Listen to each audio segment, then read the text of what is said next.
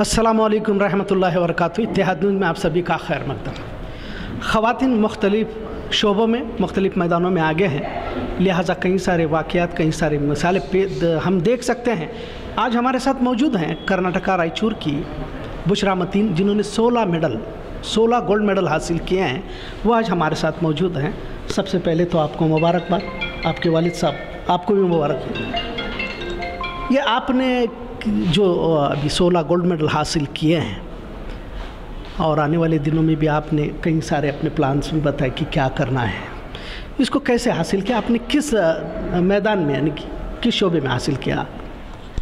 अस्सलाम वालेकुम रहमतुल्लाहि व बरकातहू ये मेरा नाम बुशरा है। जो मेरे को सोलह गोल्ड मेडल्स मिले हैं, ये मेरे को मेरे यूनिवर्सिटी से मिला है, जो वी टेक्नोलॉजिकल यूनिवर्सिटी है, जिसका कैंपस बेलगावी में है। और ये वी में जो है, two two hundred and eighteen colleges आते हैं। और मैं सिविल इंजीनियरिंग ब्रांच से हूँ, मेरे को टोटल फ़र्स्ट रैंक होल्डर और 16 गोल्ड मेडल का अवार्ड दिया है डिफरेंट डिफरेंट कैटेगरीज़ के लिए। जैसे कि फ़र्स्ट इन सिविल इंजीनियरिंग और एच एम हाइएस्ट और डिफरेंट कंप्लीट ब्रांचेस के हाईएस्ट और लेडीज़ टॉप जो रैंक है, उनके लिए इस सिक्सटीन कैटेगरीज में मेरे को ये गोल्ड मेडल मिले हैं। और मेरा आगे फ्यूचर प्लानिंग ये है कि मेरे को यूपीएससी कोचिंग लेना है और सिविल सर्विसेज़ को ज्वाइन करना है और इंडियन एडमिनिस्ट्रेटिव सर्विस में जाना है मेरे को। बुशरा मतीन कहते ही मुस्लिम खातन ख़ासकर उसका तस्करा होता है। कर्नाटक में हिजाब का भी मामला बहुत ज़्यादा उछाला गया। और हो सकता है जैसे कि आज योगी की जीत हुई है तो कहीं तो वो हिजाब मामला भी, कहीं तो वो फ़ायदेमंद साबित होता नज़र हिजाब को लेकर जिस तरह से एक इशू बनाया गया जबकि पहले से था नहीं। आप भी पढ़ते हैं, अब आपने कहा कि आपकी बहन भी कॉलेज जाती है, हिजाब के साथ। लेकिन यह हिजाब मामला जिस तरह से एक रोड़ा बनता जा रहा है, आपको नहीं लगता है कि कहीं मुस्लिम खातन को इस तरह से रोकने की कोशिश की जा रही है? क्योंकि बेवजह इसको उछाला जा रहा है, तूल दिया जा रहा है। आप इस हिजाब मामले को किस पस मंज़र में देख रहे हैं? जी जब मैं कॉलेज में थी, मेरे डिग्री में या ग्रेजुएशन में, मेरे को ऐसा कुछ हिजाब का कंट्रोवर्सी कुछ क्रिएट नहीं हुआ था। और हिजाब तो पहले से चल के आ रहा है, ऐसा कुछ कंट्रोवर्सी क्रिएट नहीं हुआ। और रही बात एजुकेशन की, ये मेरा अचीवमेंट तो एजुकेशन पर्पज़ है। और रायचूर में मेरे बहन जो कॉलेज में पढ़ रहे वहाँ भी ऐसा कुछ इश्यू तो हुआ नहीं है। और मैं यही कहना चाहती हूँ कि मेरे हम लड़कियों को कि आप अपना एजुकेशन ले आप ब्रेव रहो कॉन्फिडेंट रहो खुद में तो आप अचीव कर सकते हैं कुछ भी। आ, क्या और क्या ये कहना चाहती हूँ कि जो आपके ड्रीम्स है जो भी आपका टैलेंट है जो भी है आप उसको बाहर निकालना चाहिए कॉन्फिडेंट रहना चाहिए ब्रेव रहना चाहिए ये कहना चाहती हूँ मैं सबको। जब एक मुस्लिम लड़की तालीमी मैदान में आगे बढ़ती है तो पूरी मिलत की निगाहें उसकी तरफ़ मिलत की उम्मीदें उससे वाबस्ता हो जाती हैं। हमने उमूमन ये देखा है कि कई सारे तलबा तलबा मैदान में तो आगे बढ़ते हैं, लेकिन कौमी खिदमत देने में कहीं तो छूट जाते हैं या पीछे रह जाते हैं। आप इस ताल्लुक से क्या कहेंगे? क्योंकि ये तालीमी मैदान में आगे बढ़ने से बाज़ वक़्त नौकरी करना, पैसा कमाना, इस तरह से लोग सोचते हैं। कौमी मसाइल पर आगे बढ़ने के बारे में आप क्या कहेंगे? जी, मैं यही कहना चाहती हूँ, जो मेरे को अब अचीवमेंट मिला बेशक मेरे अल्लाह ने नवाज़ा है मुझे ये।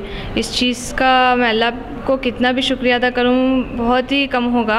और मैं यही कहना चाहती हूँ कि जो भी आपका सक्सेस हो या जो भी आप पाना चाहते हो इन टर्म्स ऑफ़ एकेडमिक रहो या पर्सनल ज़िंदगी की चीज़ें रहो, आप नमाज़ एक ऐसी कुंजी है जिसका सक्सेस की ओर लेके जाता। हमारी अज़ा में ही कहते हैं, आओ कामयाबी की ओर। तो नमाज़ एक ऐसी कुंजी है जो सक्सेस को लेके जाता आपके। और रही बात, मेरे लिए तहजद की नमाज़ एक ऐसा वक्त है, जब हम अल्लाह से बातें करें तो अल्लाह हर दुआ कबूल करेगा। अल्लाह सुबहाना तला हर दुआ कबूल करेगा। तो मेहनत करो, साथ में अल्लाह के साथ अपने बातें बताओ। अल्लाह बेशक नवाजेगा, नामुमकिन को मुमकिन में अल्लाह सुबहाना तला ने सुबहाना तला करेगा। तो मैं यही कहना चाहती हूँ सबसे। जी जी, बहुत बड़ी बात कही है कि बहुत सारे लोग एक अहदे पर तो पहुँच जाते हैं तालीम हासिल करने के बाद, लेकिन कौमी खिदमत करने से कहीं तो भी चूक जाते हैं। जब उस मकाम पर जाते हैं तो कौम याद नहीं आती, लेकिन रिटायर्ड होने के बाद फिर से मस्जिद याद आती। इस तरह का एक हमने देखा है तो उम्मीदें वाबस्ता हो जाती हैं कौम के। कौम की बेटियों को आप क्या कहेंगे? जी, मैं यही कहना चाहती हूँ, अल्लाह बड़ा मेहरबान है। अल्लाह गफ़ार है गफूर है वो माफ़ करता है जो भी चीज़ों को।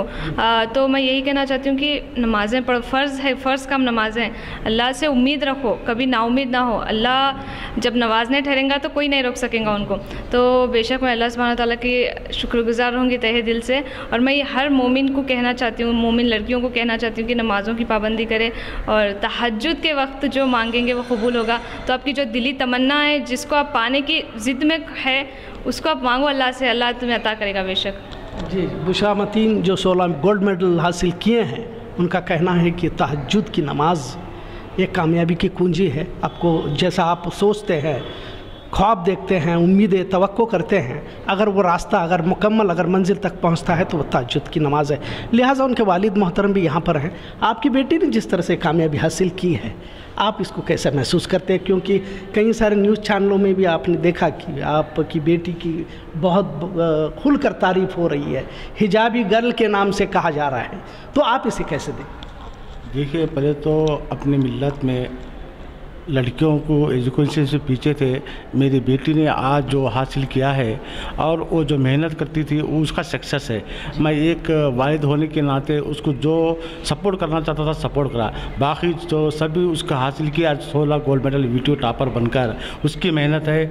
उस जो नमाज़ की पाबंद थी और अपना जो सिलेबस था, रोज़ अप टू डेट करती थी, पढ़ती थी और किसी चीज़ की खामी हमको महसूस होनी नहीं थी। मैं यही चाहता हूँ, मैं एक वालिद होने के नाते वो जो भी सक्सेस है उसका खुद का सक्सेस है जो मैं सपोर्ट करना चाहता हूँ वो सपोर्ट कर रहा हूँ। जी। बुशरा मतीन ने बारहा मैंने उनके इंटरव्यूज़ वगैरह देखे मुलाकात भी देखी। अपने भाई का उन्होंने खास करके ज़िक्र किया है कि तनवीर शेख जो उनके भाई हैं वो भी हमारे साथ मौजूद हैं। ये जो कामयाबी हासिल हुई है बुशरा मतीन की आप इस पर क्या कहें? अस्सलाम वालेकुम रहमतुल्लाहि जी मैं बुशरा मतीन का बड़ा भाई शेख तनवीरुद्दीन बात कर रहा हूँ। ऐसा तो मेरी तारीफ़ कुछ भी है नहीं इसमें। जो भी है, मेहनत बुशरा का है। बस मैं मोटिवेट करता था उनके लिए कुछ इंस्पिरेशनल थॉट्स वगैरह बतलाता था, ऐसा ऐसा करना है कि बस उतना ही। बाकी जो भी मेहनत है, उनकी है पढ़ाई के लिए।